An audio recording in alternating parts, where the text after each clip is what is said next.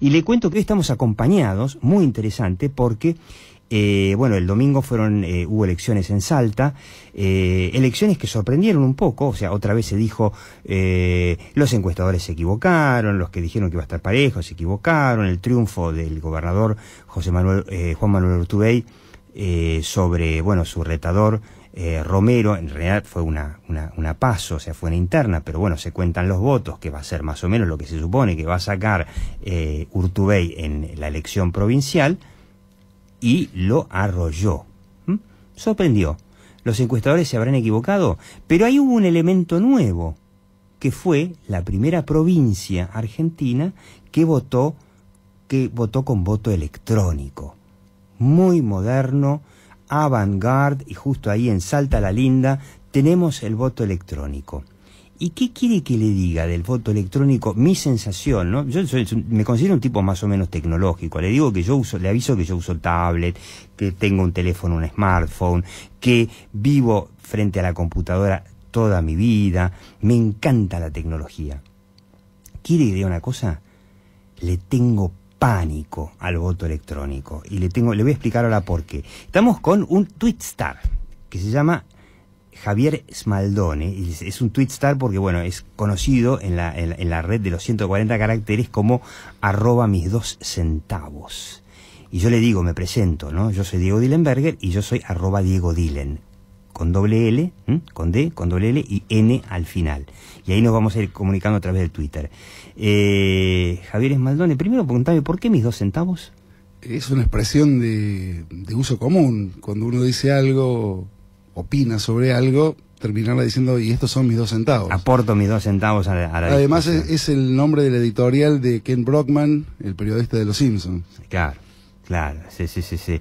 Muy interesante. Bueno, este eh, Javier Maldone comparte conmigo el temor al voto electrónico y las dudas que este eh, vamos a vamos a analizar un poquitito. Contame un poco. ¿Habrá habido fraude en Salta? Eh, no se sabe y no se va a saber. No se va a saber, ¿no? No se, No, se puede hacer como con el voto tradicional, que uno va y hace un, un escrutinio, que se vuelve a contar la mesa. Se podría, eh, y siempre se podría objetar después que pasó alguna otra cosa. ¿Hay un respaldo en papel, por lo menos, de ese voto? Hay un respaldo en papel. Eh, difícilmente se abran todas las urnas y se vuelvan a contar todos los papeles en Venezuela recordemos que también hay voto electrónico. Venezuela, que prácticamente hoy ya ni es un país democrático, pero eso sí, es un país, es una dictadura, pero con voto electrónico. Con un sistema similar también que permitiría recontar. Nunca se hace. Nunca se hace. Nunca se hace. No se hizo en Córdoba en las últimas elecciones cuando el Frente de Izquierda, con razón, reclamó que había habido fraude con boletas. A, Luis Juez que dice que Luis Juez siempre dijo que le robaron la elección. Y siempre pasa una cosa curiosa, cuando uno reclama la justicia electoral sobre un problema en el procedimiento, eh, ¿quién es el que fija el procedimiento? ¿Quién es el que hace las contrataciones de las empresas que participan y demás? La justicia electoral. Entonces, ¿cómo falla siempre la justicia electoral en esos casos? Y no va a fallar en contra de sí misma. Diciendo hicimos las cosas bien. Ahora, es muy interesante que Alemania probó con el voto electrónico hace ya unos cuantos años y después lo sacó. ¿Por qué?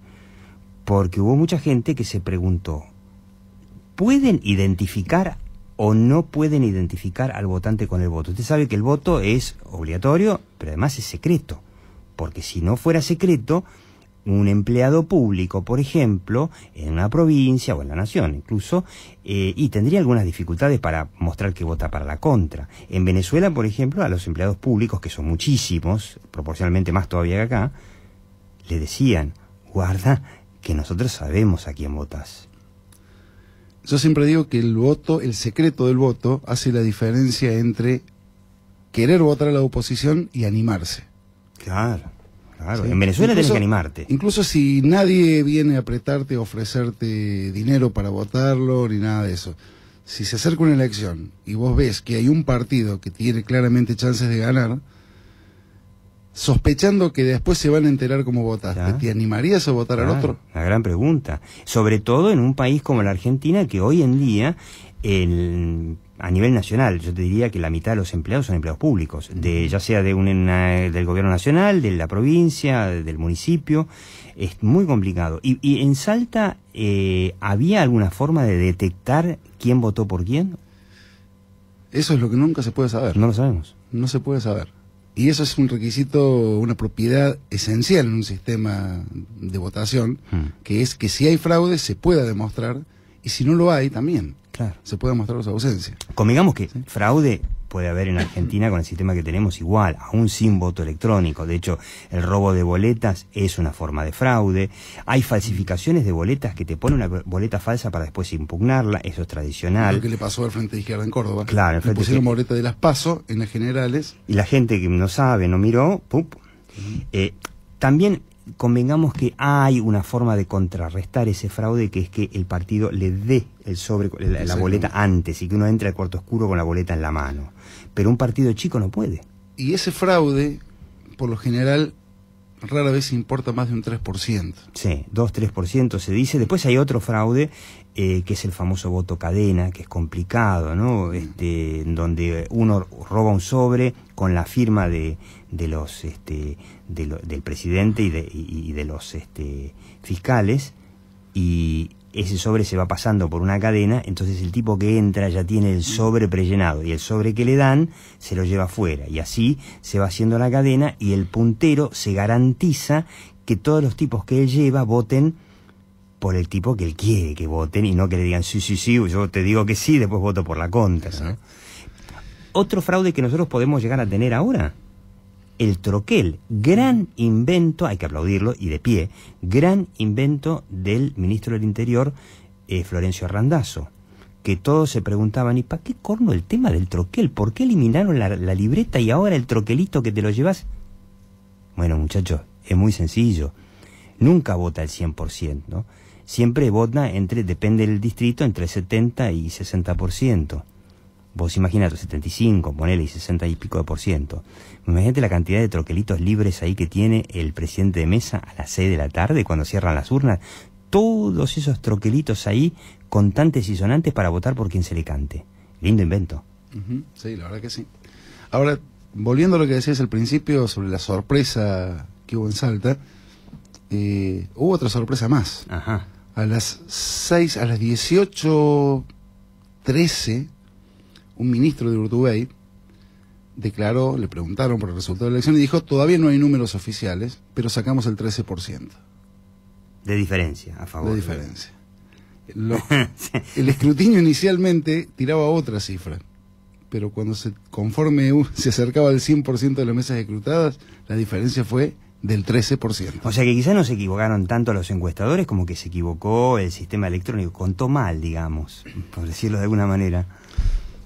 Es terrible, o sea, eh, que- queda claro que, eh, a ver, insisto, el los dos ejemplos. Alemania lo probó y lo eliminó porque no es seguro. Venezuela lo tiene. Mm. Todo un dato. Y, y- y- por suerte nosotros ahora vamos a votar en la ciudad de Buenos Aires sin voto electrónico, pero el gobierno de la ciudad estuvo a punto de introducirlo. Y al final no se llegó a tiempo técnicamente, pero si esto sigue así, la próxima elección, dentro de dos años, en la ciudad de Buenos Aires va a haber voto Y electrónico. ya está adjudicado a la misma empresa, La misma que empresa hace el de sistema Salta. de Salta, Mm. el mismo sistema, por eh, casi unos 250 millones de pesos, Mirá vos. que no fue la oferta más baja. Quiere decir que este, si no, si el argentino no se defiende, lentamente va a ir este, metiéndose el voto electrónico y no va a ser un avance tecnológico. Y no. y muchas veces eh, la gente tiene la idea de que si falla, si no anda bien, si tiene problemas, es porque se hace mal, pero se podría hacer bien. La cuestión de fondo es que no se puede hacer bien. O sea, el, el voto electrónico no, no garantiza una elección limpia. Puede ser limpia, pero no lo garantiza. No lo garantiza y abre la puerta a problemas que uno no esperaría tener. ¿Sí? Eh, hay sistemas que directamente son, es imposible que uno los considere seriamente, como el que se usa en Brasil, o el que se ha usado en la el que se mayoría. usa en Brasil no los consideraría seriamente. No, porque directamente eso es ir a una computadora, apretar un botón, eh, la computadora esa a su vez es la urna, ahí desfila durante el día la gente presionando botones y al final del día esa computadora dice cuánto, cuánto dio la elección. Claro, o sea, sin ningún tipo de respaldo. También hubo sorpresa físico. ¿eh? También hubo sorpresa porque se decía de todo, este, tipo. Se decía que eh, Dilma iba, estaba perdiendo en las encuestas este, días antes. Eh, tampoco era una derrota muy fuerte, pero estaba perdiendo. Y finalmente la elección misma se dio mm. vuelta, ¿no? No, hay prueba de que haya sido fraude. Es que ese es el problema, no hay prueba, no hay ninguna prueba, porque es una computadora que al final del día emite un ticket diciendo estos son resultados. Yo te digo, te, doy un ejemplo de un país que no tiene voto electrónico. Estados Unidos. La democracia más moderna del mundo no tiene voto electrónico. No, sí tiene. Ah, ¿tienen? Tiene. Ah, mira. Recordá el año 2000, eh, el estado de Florida, Gore contra Bush. Pero eso no era electrónico. Sí, era electrónico. Eso fue electrónico. Eso fue electrónico. Estados Unidos es posiblemente, hay hasta una película con Kevin Spacey sobre esa sobre ese incidente. Y Estados Unidos es un buen ejemplo porque eh, ellos son bien federales. ¿sí? Ahí se maneja casi a nivel de cada condado, decide a qué empresa contratar, qué sistema usar. Eh, y tienen la tradición más larga en, en voto, son los primeros que empezaron, en la mayoría de los estados. Y actualmente en muchos se está volviendo a hacer papel. Se está volviendo, a hacer papel. Ah. yo siempre digo que, bueno, les llevó unos años caer en la cuenta de que les asesinaron un presidente democrático y fue interno, y hasta el día de hoy por ahí no lo reconocen abiertamente. Algún día van a reconocer, cuando ya sea historia antigua posiblemente, que tuvieron un presidente ilegítimo. Porque todo indica que lo que pasó en Florida fue un fraude enorme. Sí, sí, sí, sí. Eh, otros países que tienen voto electrónico, la India. ¿Sí? La India también, que es la democracia más grande del mundo y tiene un sistema que jamás fue auditado por nadie. Y una persona, un investigador, se logró hacerse de uno, lo auditó, publicó los errores groseros y las múltiples formas de violarlo y terminó detenido desaparecido. Seguimos en la hora de Maquiavelo, sumamente interesante. Estábamos charlando con Javier Esmaldone. Bueno, es un tweet star, le digo lo que, es un tweet star. Es una estrella de Twitter porque eh, mis dos centavos, arroba mis dos centavos, como me llama la cuenta, eh, es este, vamos a ver si acá me tira cuántos seguidores tiene, pero bueno, no me tira porque esto no, no, estoy bien conectado, pero 19.000, no es Bueno, 20.000 seguidores, porque, eh, entre otras cosas, se divierte haciendo unos remix de videos muy divertidos. Les digo, métase en YouTube. Hay unos que hemos pasado acá en la obra de Maquiavelo, algunas recopilaciones de furcios de la señora Presidente que son. Mire, si usted tiene ganas de reírse y de caerse de traste, véalo, véalo porque es humor cordobés convertido a YouTube. Ahora, eh, volviendo al tema del voto electrónico, que es una preocupación que tenemos los dos y lamentablemente muy poca gente en la Argentina. Eh, ¿Por qué la gente tiene que preocuparse porque el voto electrónico es una degradación de la democracia? Porque cuando hablamos de fraude o de la exactitud en el resultado y demás, tenemos que diferenciar dos cosas.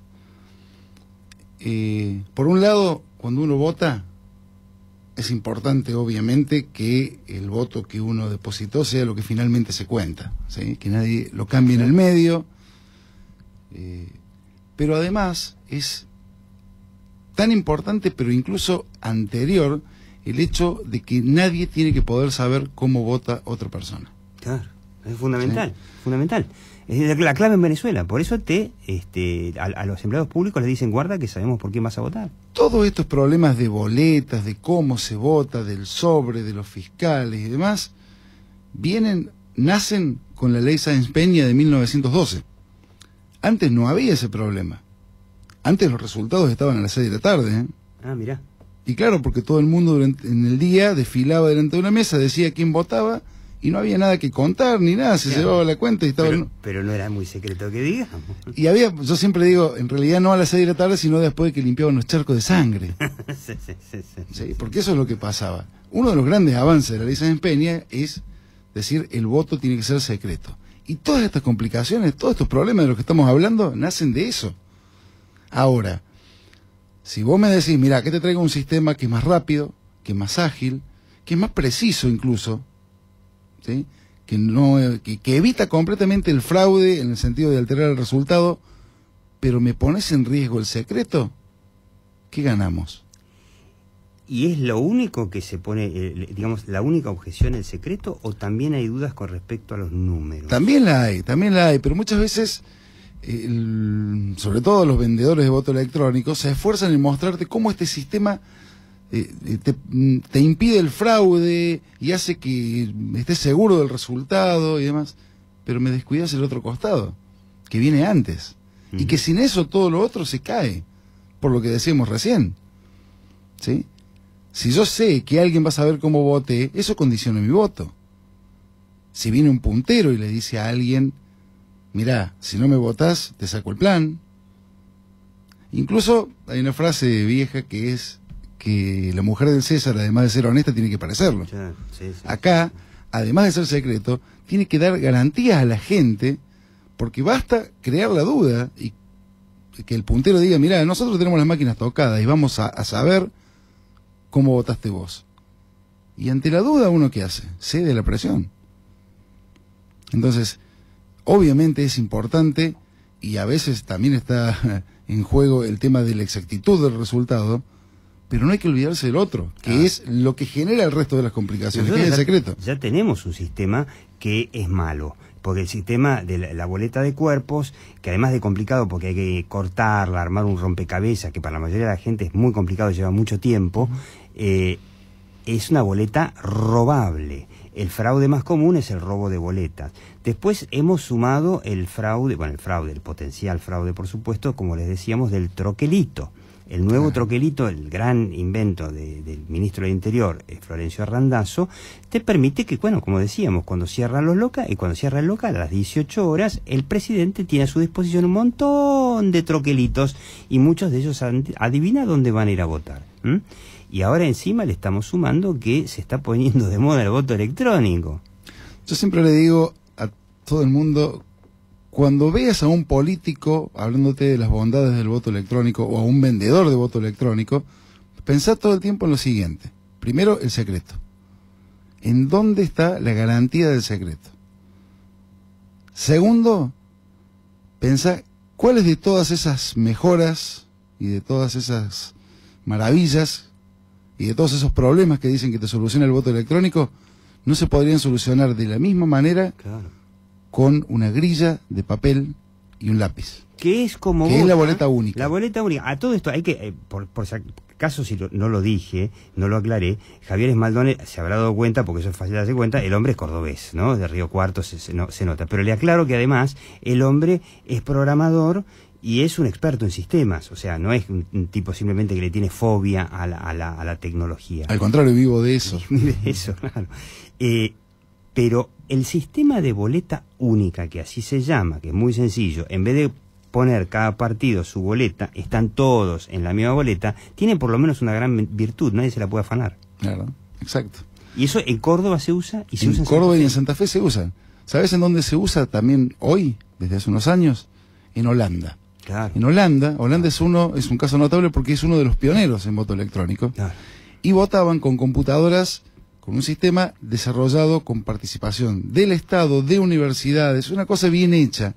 ¿Sí? Los holandeses no son de andar, de andar Y nadie haciéndose- sospecha de la democracia en Holanda, ¿no? Bien, ¿qué pasa? Se ponían las mismas objeciones de siempre. ¿sí? Se dijo que no, se mostraron, se hicieron auditorías. Después, si querés, hablamos un poquito más de las lo que se llama auditorías, que no son auditorías. Pero bueno, acá se pusieron una serie, se hicieron una serie de pruebas y siempre se decía que hasta que un grupo de hackers, de hackers en el buen sentido de la palabra, digamos, de- de- de informáticos, tomó una de esas máquinas y logró, en base al análisis de las ondas de radio que emite cualquier dispositivo electrónico, Mm. determinar a quién se estaba votando. Mm. Con un equipo de radio barato, Mirá vos. una asistente personal, las PDA, las Sí, sí, sí. una especie de tablets que venían hace vieja. 15 años, a 25 metros de distancia. Ah, no te puedo creer. Bueno, resultado, el gobierno de Holanda dio marcha atrás. En Holanda se vota con lápiz y papel. Y con la boleta única que hay en el 95% de los países del mundo. En Irlanda se quieren matar porque les compraron algo así como 70 millones de dólares en esos equipos a Holanda y los tienen guardados en un galpón. Mira. ¿sí? ¿Y qué pasa? No es las máquinas de Holanda.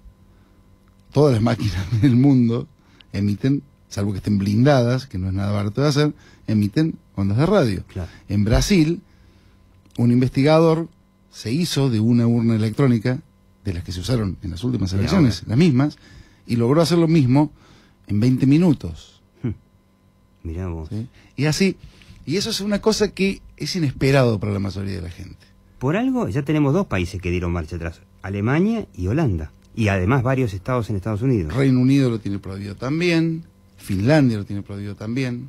Me decías que la India es el... La India es, es la democracia más grande del planeta, por cantidad de Ellos habitantes. sí tienen voto electrónico. tienen voto electrónico y son equipos que nadie ha podido hacer una auditoría. Me contabas Una que hay sola un persona- un tipo que quiso hacer una auditoría. Una sola persona pudo hacerse una de esas máquinas, hizo una auditoría, mostró, hay un video que lo tengo subido a YouTube, mostró la infinidad de maneras que hay de violarla Mm. y terminó desaparecido ocho días y después Mm, preso. Mirá vos, mirá Sí. vos. Y- Entonces, volviendo al, al sistema que se usa acá. El sistema que se propone acá, para que la gente entienda, porque nadie lo ha visto en, en Buenos Aires, el sistema salteño, es el siguiente. Uno va hacia una computadora, primero se identifica entre la mesa, ante el fiscal. Le dan una boleta. Esa boleta es una tira de papel en blanco que tiene un chip de radiofrecuencia, un chip RFID, que es, para que se entienda, parecido a los chips que tienen los pasaportes. Uno va hacia la computadora, deposita esa, esa boleta, la mete adentro, la inserta, confecciona el voto, elige los candidatos, cuando confirma, se imprime en, en el papel de la boleta el texto de a quién es voto uno y se graba la misma información en el chip de radiofrecuencia. Uno dobla esa boletita, va a la urna, la mete en la urna. Al final del día, a las 6 de la tarde, se abre la urna, se sacan las boletas y se pasan por un lector. Y uno puede comprobar que lo que dice el papel es lo que muestra la pantalla y lo que va contando. Bueno, si es así, suena bastante bien. Suena bastante bien. Ahora hay un par de problemas. Primero, yo voto usando, eh, confecciono el voto, emito el voto usando una computadora. ¿Esa computadora almacena algo? Me prometen que no. Queda en principio que que, pasó la papeleta del documento ta ta ta ta ta. No está el documento, pero basta llevar el orden. Pues sí. Si yo tengo el orden de emisión de los votos Automáticamente. y tengo te el orden de cómo votó la gente, cruzás y ya está. Bien, entonces, se promete que no. Si hacen auditorías, ¿en qué consisten las auditorías? En mostrarle a alguien cómo funciona. ¿Y quién Quien no sabe informática eh, le cuesta imaginar, pero así como hablábamos de Holanda, de que con- por las ondas de radio que emite, Claro. que son basura, no es parte del funcionamiento normal de la máquina, es una consecuencia del funcionamiento de la máquina, a 25 metros se sabía. Si se quiere hacer adrede, hasta en el sistema de impresión se puede poner un componente que incluso se puede poner y después se puede retirar. Claro. Hay- es imposible auditar eso porque a mí me traen el código fuente, me traen una máquina, nos juntamos con ingenieros electrónicos, nos tomamos seis meses, auditamos todo y esta computadora funciona bárbaro. ¿Y quién me garantiza lo mismo después el día de la elección de todas las que van a estar desparramadas por todo, Claro, que claro. se corresponden con eso que yo esa que audité? te mostraron está Claro, perfecta. Entonces, Total, una sola. es impracticable. Y como decía recién, yo siempre le digo a la gente, pensá primero en el secreto del voto. Segundo, pensá en qué cosa ganás con este sistema que no ganarías con una boleta de papel. Claro. Sobre todo si es Y la boleta final- única que es muy fácil de contar. Y al final del día resulta eso, que la boleta de papel a lo mejor te lleva dos horas contarlo y esto te lleva 40 minutos. ¿Esa es la ganancia? Ahora, no se podría, claro, el- eh, uno podría decir, bueno, pero si está el respaldo en papel, uno podría decir, yo hago un conteo electrónico instantáneo en cinco minutos y después este, el verdadero conteo lo hago en papel. Pero sigue quedando la duda, sigue quedando la duda Del de- secreto. Eh, ¿Y qué ganaste? ¿Tener resultados provisorios más rápido? ¿Cuánto más rápido? ¿A las 9, a las 8 de la noche en vez de a las 12? ¿Es eso importante en una democracia o lo importante es otra cosa? Ahora, eh, Yo me planteaba la siguiente pregunta, porque siempre se dice que en Argentina un poco de matufia en las elecciones hay, ¿no? Se habló, Lilita Garrió em, empezó a hacer una denuncia en la elección de 2007, que ganó, la primera elección que ganó Cristina Fernández de Kirchner, no le dieron mucha bolilla, algunos dicen que eh, hubo fraude, esto dicen, no, no me consta, pero yo escuché de, de, colegas que decían que hubo fraude hacia varios lados, porque el gobierno inteligentemente, ¿qué hizo? Eh, le puso más votos a Cristina, pero le puso también en la provincia de Buenos Aires más votos a Margarita Stolbizer. Entonces, Margarita terminó, como se dijo en su momento, eh, burlándose de los encuestadores que le daban, no me acuerdo los números, pero que le daban que iba a sacar, no iba a sacar más de 10% y finalmente sacó el doble y eh, le compensó de alguna manera, entre comillas, la denuncia de fraude a Lilita Carrió. Pero se habló.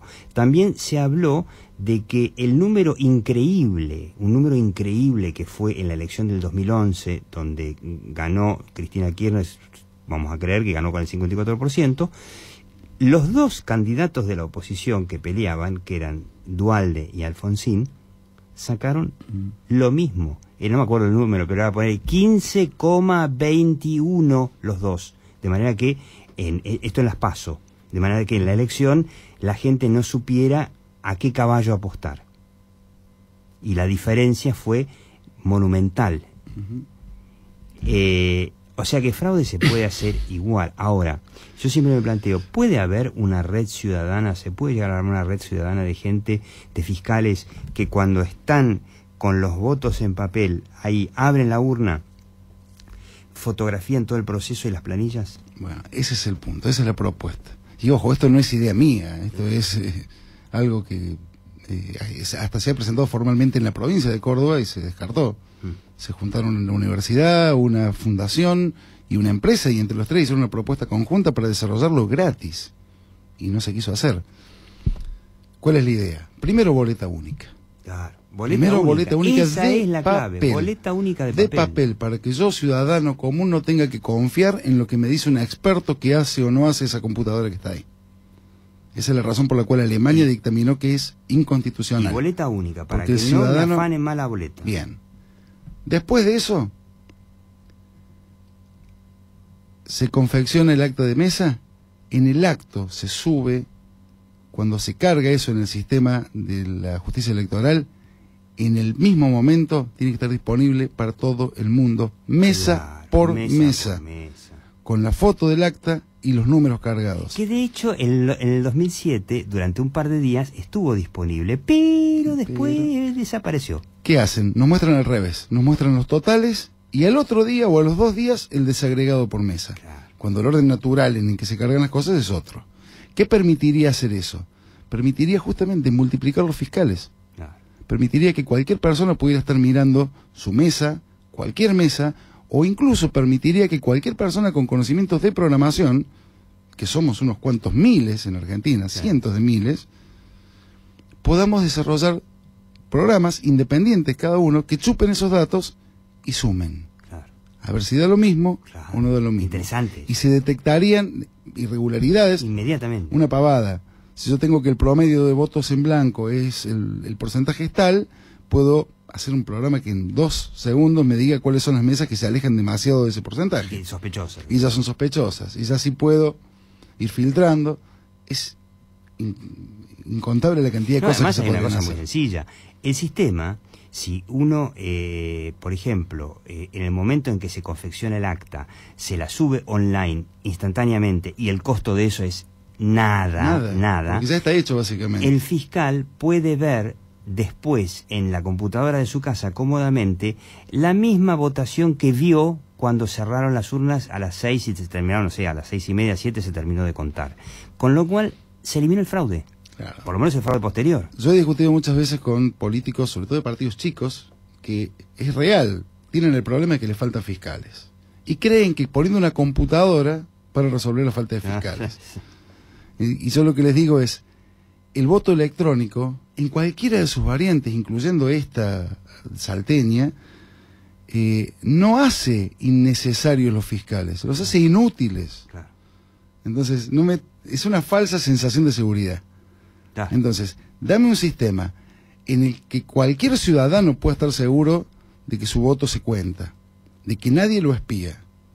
Y después dame un sistema que permite multiplicar los ojos a la hora del escrutinio. Claro, que permita que cada uno pueda ser fiscal y que los fiscales que estuvieron en la mesa puedan inmediatamente eh, dejar constancia de lo que vieron, que no pueda modificarse después, porque una vez que está todo eso online, y bueno, como decía este Javier Esmaldone, eh, se puede contar eso en, segundos. Y las denuncias están en, la justicia electoral al otro día a las 8 de la mañana con número de urna identificada donde hubo Si no hacemos eso, no digamos que tenemos una democracia, porque es más o menos, por algo no se hace. Yo siempre rescato y me quedo con el fallo alemán, que ya dijimos varias veces. El fallo alemán dice bien clarito, fue para un modelo de computadoras específicas, cierto, pero en las conclusiones del tribunal es bien claro y es bien general. Dice, un sistema en el cual el ciudadano no puede asegurarse de que se respeta su voluntad y se le garantiza el secreto, no es, no es apto para un sistema republicano. Tal cual. Si yo tengo que empezar votando confiando en que alguien me dice esta máquina funciona bien, no te espía, en Argentina te cuenta bien. No, pero es que no tiene sentido. No tiene sentido directamente. Qué bárbaro, ¿no? Eh, bueno, llegamos así al final de la hora de Maquiavelo. Le agradecemos muchísimo a Javier Smaldón. Le digo, sígalo, mis dos centavos, arroba mis dos centavos en Twitter. Y sígame a mí también, arroba Diego Dilen, siempre digo con doble L y con N al final, porque yo soy Diego Dilenberger. Eh, una preocupación, ¿no? Que el caso de Salta eh, sirva para reflexionar sobre el voto electrónico y nuevamente ya hay dos provincias, Santa Fe y Córdoba, que tienen el sistema en que vota el 90% de las democracias en el mundo, que es la boleta única, dejémonos de jorobar, ¿eh? este, y paremos con este sistema de boleta robable que, entre otras cosas, nos ha dado una democracia bastante enclenque. Javier, muchas gracias. Eh, insisto, sígalo porque además se hace unos remixes de videos que son muy divertidos.